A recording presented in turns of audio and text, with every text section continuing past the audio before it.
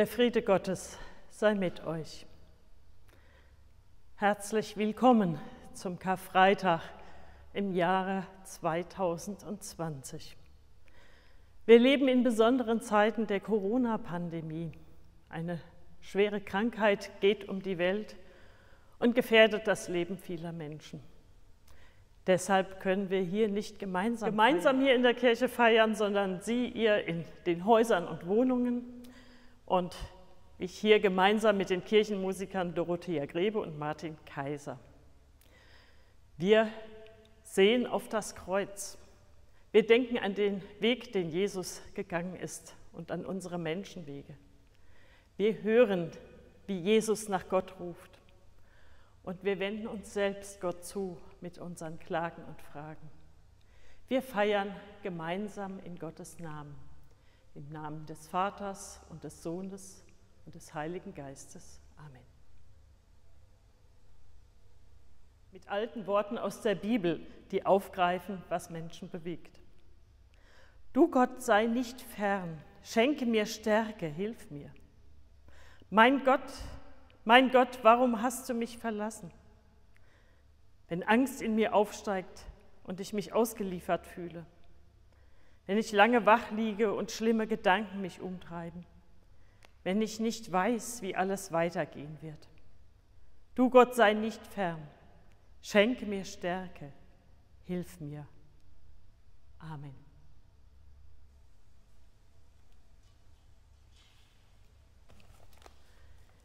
Ich lese aus dem Markus-Evangelium im 15. Kapitel.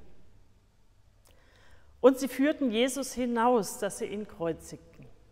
Und sie zwangen einen, der vorüberging, Simon von Kyrene, der vom Feld kam, dass er ihm das Kreuz trage. Und sie brachten Jesus nach Golgatha. Und sie gaben ihm Myrrhe im Wein zu trinken, aber er nahm es nicht. Und sie kreuzigten ihn. Sie teilten seine Kleider und warfen das Los darum, wer was bekommen sollte. Und sie kreuzigten mit ihm zwei Räuber, einen zu seiner Rechten und einen zu seiner Linken. Und die vorübergingen, lästerten ihn und schüttelten ihre Köpfe und sprachen, Ha, der du den Tempel abbrichst und baust ihn auf in drei Tagen, hilf dir nun selber und steig herab vom Kreuz.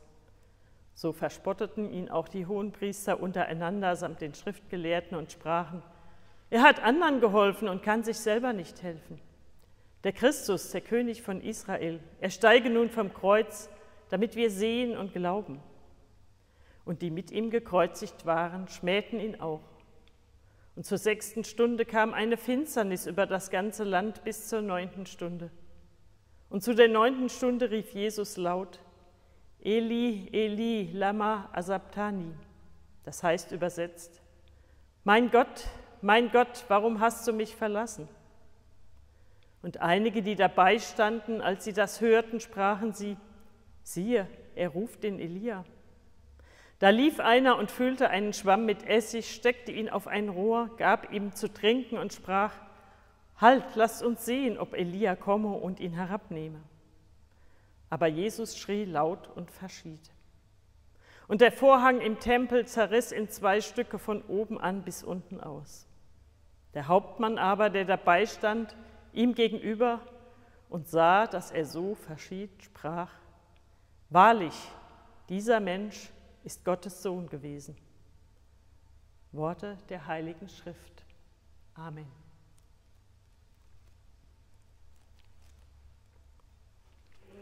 besonders an den Weg, den Jesus gegangen ist bis zum Tod am Kreuz. Dieses Kreuz ist zum Zeichen geworden für den christlichen Glauben.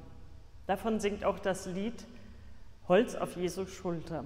Es steht im Gesangbuch unter der Nummer 97.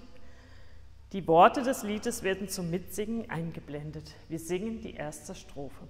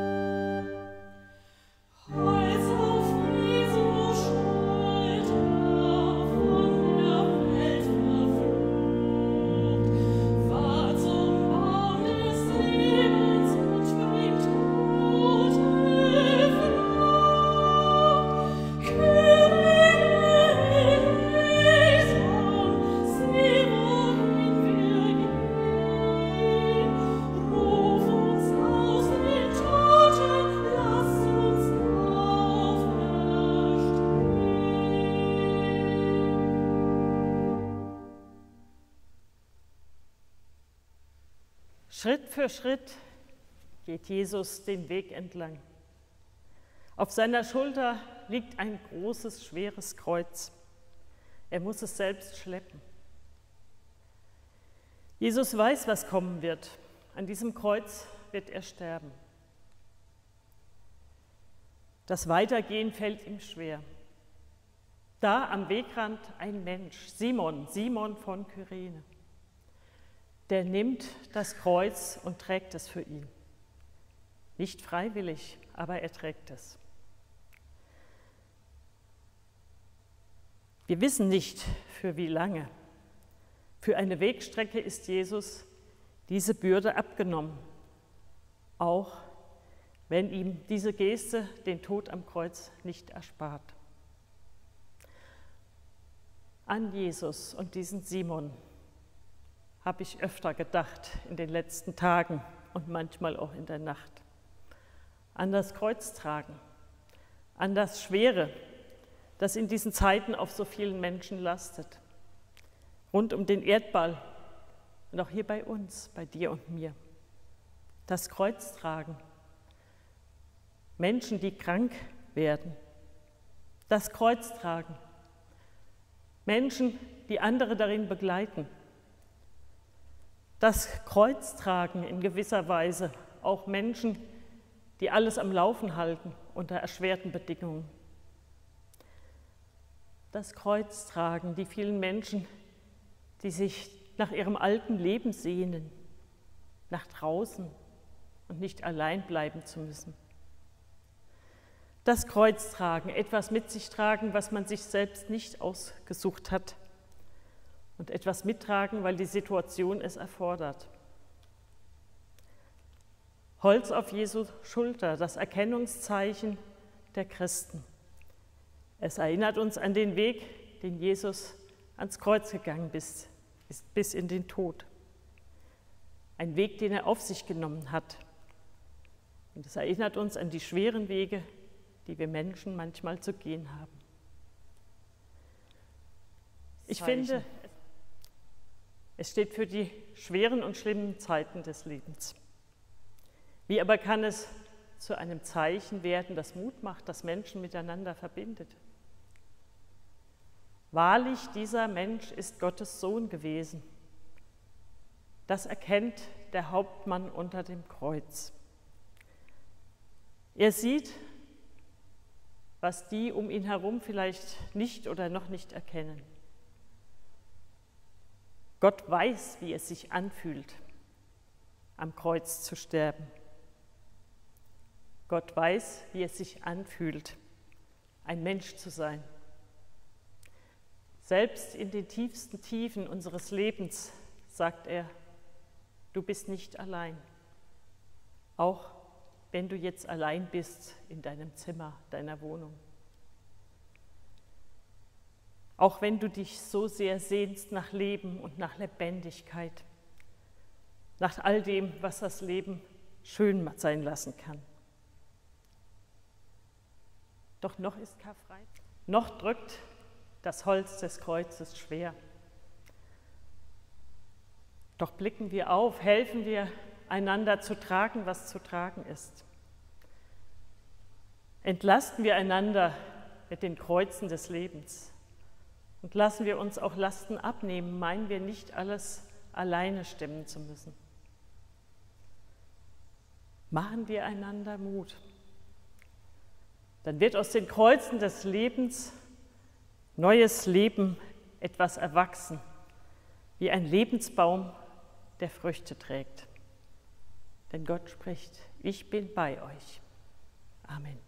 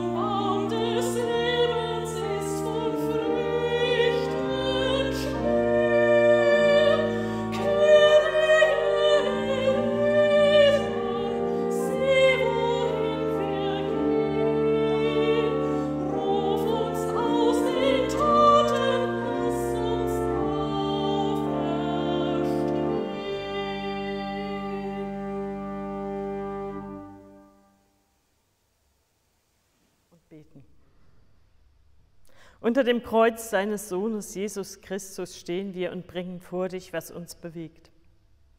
All den Kummer, der uns das Herz abdrückt. All die Sorgen, die uns nicht schlafen lassen. Den hilflosen Zorn, der uns immer wieder überfällt. All die Fragen, die keine Antwort finden. All das, was uns gegeneinander aufbringt und uns dazu bringt, an dir und aneinander schuldig zu werden. Wir bitten dich und sprechen zu dir, Gott, erhöre uns. Sieh an das Leid, das Menschen zu tragen haben. Stell ihnen andere zur Seite, um mitzutragen, auch mich. Wir bitten dich, Gott, erhöre uns.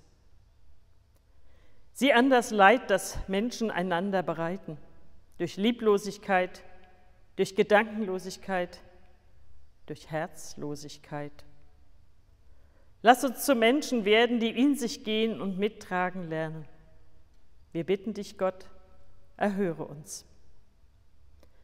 Sei du mit allen, die in diesen Tagen Dienst tun, miteinander, für andere. Lass in ihnen immer wieder Kräfte wachsen.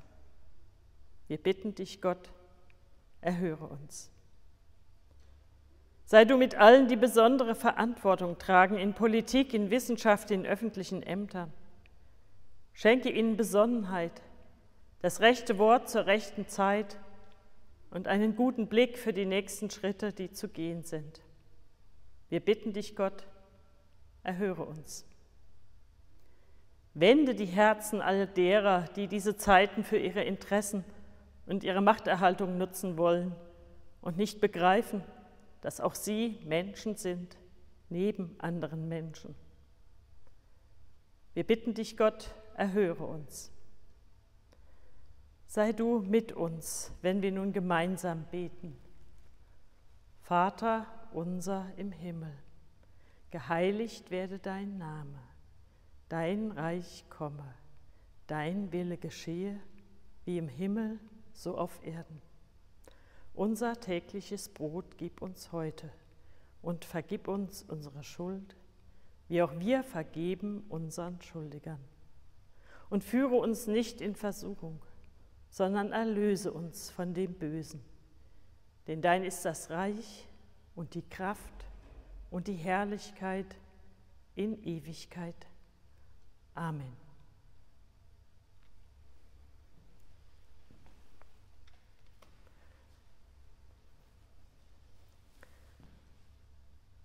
Gott segne dich und behüte dich. Gott lasse sein Angesicht leuchten über dir und sei dir gnädig. Gott erhebe sein Angesicht auf dich und gebe dir Frieden.